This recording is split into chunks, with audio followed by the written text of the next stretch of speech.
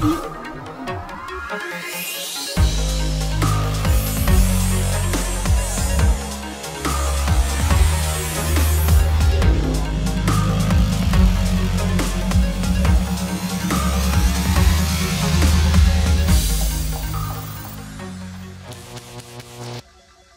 Pozdrav dragi terminalci, u 171. izdanju našeg video magazina o digitalnim tehnologijama donosimo prikaz jednog niskobudžetnog laptopa, kao i recenziju jednog prenosnog diska.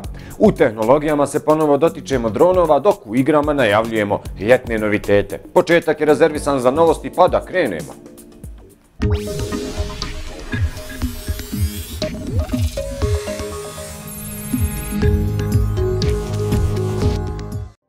Po nepisanom pravilu glasine su nam još davno otkrile skoro sve bitnije detalje o novom telefonu kompanije OnePlus, koja iz dana u dan postaje sve popularnija. Sada izvanično došlo je vrijeme da upoznamo se sa OnePlus 5 telefonom. OnePlus 5 donosi 5.5 inčni AMOLED ekran Full HD rezolucije, Snapdragon 835 chipset te 6 GB RAM i 64 GB interne memorije, odnosno 8 GB RAM i 128 GB memorije za pohranu podataka, ovisno od odabranog modela. Uz to neke od ključnih karakteristika telefona uključuju i dual kameru sa stražnje strane koja kombinuje 16 i 20 megapikselne senzore kako bi snimala kvalitetne fotografije i u uslovima sa slabijim osvjetljenjem, a tu su i podrška za optičku stabilizaciju slike i do 40% brži autofokus u odnosu na obične smartphone kamere. Sve te komponente su upakovane u najtanjijem OnePlus kućištu do sada, tankom svega 7,25 mm, unutar kojeg ćete pronaći standardni 3,5 mm audio port te bateriju kapaciteta 3300 mAh. OnePlus 5 je već dostupan u nekoliko evropskih država, a košta će vas 500 eura ukoliko se odlučite za model sa 6 GB RAM-a, odnosno 560 eura ako odaberete model sa 8 GB RAM-a. Mozilla je nedavno objavila kako je Firefox Focus nakon prošlogodišnje premijere na iOS-u od sada postao dostupan i korisnicima Androida. Ukoliko niste upoznati sa Focusom, u pitanju je posebna verzija Firefoxa prilagođena korisnicima kojima je privatnost prilikom surfanja na prvom mjestu. Firefox Focus tako automatski blokira reklame koje prate korisničku aktivnost, čime usput doprinosi i brzini surfanja, te štedi limit korisnika mobilnog interneta. Osim toga, ova verzija Firefoxa nudi i opciju za jednostavno brisanje historije i liste prethodno posjećenih sajtova pritiskom jedne tipke, a korisnici Androida na raspolaganju imaju i par opcija koje nisu dostupne korisnicima iOS-a, poput mogućnosti korištenja Firefox Focusa kao defaultnog web browsera. Netflix je objavio kako planira proširiti svoju ponudu sa interaktivnim serijama koje će gledalcima omogućiti da u ključnim momentima odaberu smjer u kojem će se nastaviti njihova priča. Prva ovakva serija na Netflixu nosi naziv Puss in Book, Trapped in an Epic Tale i dostupna je već sada, dok će iduća interaktivna serija Buddy Thunderstruck The Maybe Pile na servis stići sredinom jula. Iz Netflixa navode kako će se za sada fokusirati prvenstveno na razvoj interaktivnih sadržaja prilagođenih djeci, obzirom da su istraživanja pokazala kako je upravo mlađi segment populacije sklon interakciji sa TV i drugim ekranima. Netflixove interaktivne serije će u početku biti dostupne isključivo na određenim modelima televizora i korisnicima iOS uređaja. A evo i jedno slatko, slatko pitanje za moje drage, drage terminalce. Ono glasi, da li znate šta je to Miki? Saznaćete na kraju emisije. Odavno na testu nismo imali jedan budžetski laptop, a HP-ova 255 serija upravo je fokusirana na tu klasu korisnika. Isprobali smo petu generaciju modela ove serije.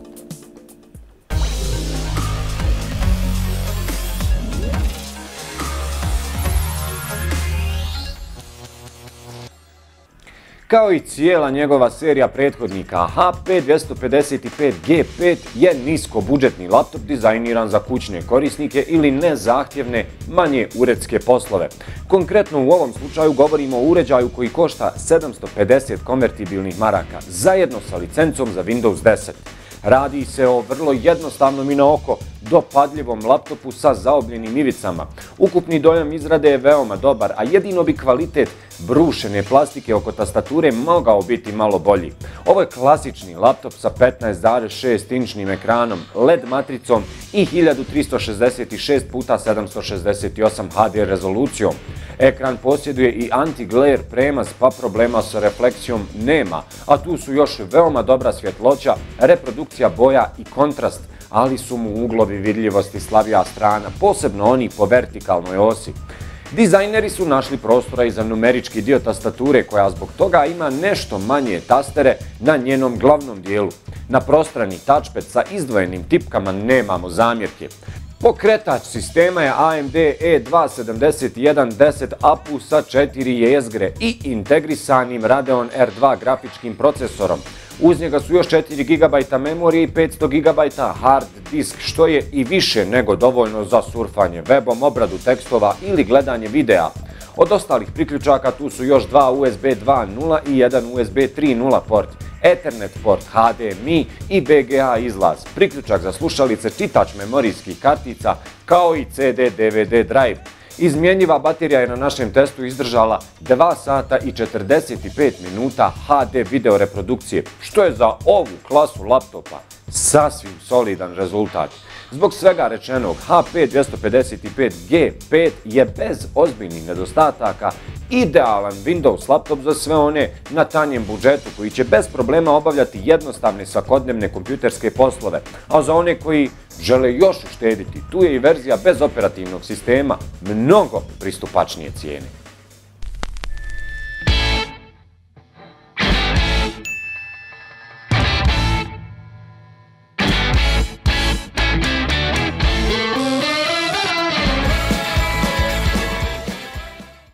Posljednjih mjeseci ne može proći nekoliko epizoda, a da se ne dotaknemo dronova, bilo da ih spominjemo u vijestima, bilo da ulazimo u detalje neke nove tehnologije koja će ih učiniti još interesantnijim i korisnijim. I već pogađate, dronovima se bavimo i u ovom izdanju naše tek rubrike.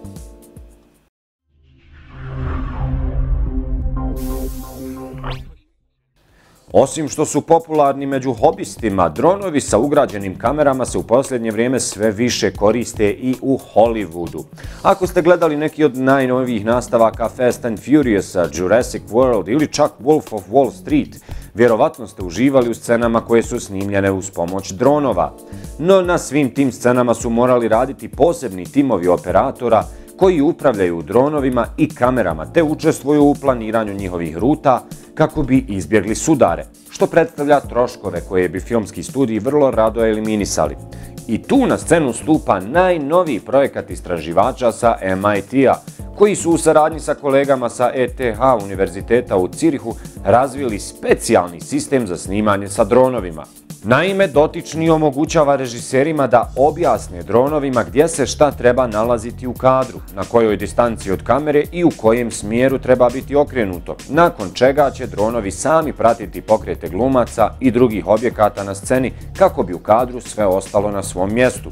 Uz to sa MIT-a garantuju kako se dronovi opremljeni njihovim kinematografskim sistemom nikad neće solupati niti sudariti sa scenografijom sve dok su podaci o okolini koje filmađije unesu u sistem tačne. Sam sistem funkcioniše tako što procjenjuje brzine kojima se kreću objekti na sceni, nakon čega 50 puta u sekundi osvježava svoja predviđanja mjesta na kojima će se spomenuti objekat naći nekoliko sekundi u budućnosti. Sada još samo da istraživači usavrše ovaj sistem i sreći filmskih studija neće biti kraja. Za prenos velikih količina podataka ili pak za njihovo arhiviranje, najpopularnije rješenje definitivno je eksterni prenosni disk. Za one nešto zahtjevnije korisnike tu su i modeli otporni na različite vanjske uticaje, a jedan takav nudi i kompanija Adata.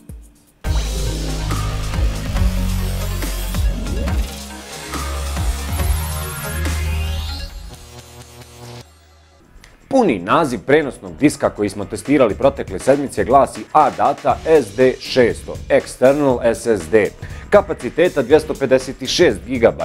Znači riječ je o solid state uređaju za pohranu podataka, što u odnosu na standardne mehaničke diskove nudi niz prednosti.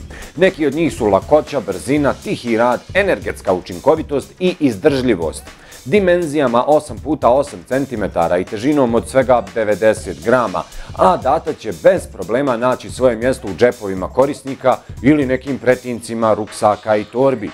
Pogled na njegovo ojačano kućište definitivno ulijeva pouzdanje, a ono je i dizajnirano da može podnijeti više opterećenja i jake udarce. Otpornost na prašinu i vodu je izostavljena, ali u praksi se češće dešavaju upravo padovi i nepredviđeni udarci. Disk se sa ostalim uređajima povezuje putem 3.1 USB porta, a kompatibilan je sa Windowsima, Androidom te Xbox One i PS4 konzolama, i to bez instalacije drajvera. Disk je baziran na 3D TLC NAND flash memory koja postaje novi standard i čija 3D složena memorija nudi veću gustoću, pouzdanost i trajnost u poređenju sa starijom 2D planarnom memorijom. Što se tiče testova, naš test je pokazao prosječnu brzinu od velikih 403 MB u sekundi za čitanje i 178 MB u sekundi za pisanje podataka. Iz ovoga je sasvim jasno da i u najboljim okolnostima interni ili vanjski mehanički diskovi ne mogu pratiti ovakve performanse. Zaključak je jednostavan. Ako često imate potrebu za prenošenjem velike količine podataka ili radite sa multimedijalnim datotekama koje su pohranjene direktno na disk ili možda razmišljate o bržem učitavanju igara na konzolama, a data SD600 je veoma dobar izbor, a pri tome nudi i još jedan nivo sigurnosti podataka.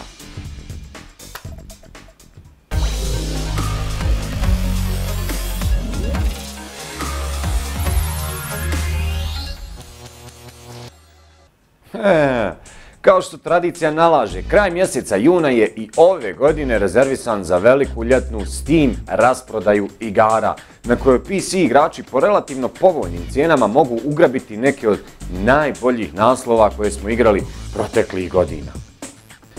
Među ponudama na koje trebate obratiti pažnju su svakako fantastični Dishonored 2 koji može biti vaš za samo 20 eura, dok ćete za 1 euro manje dobiti kompletnu prvu sezonu Hitmana.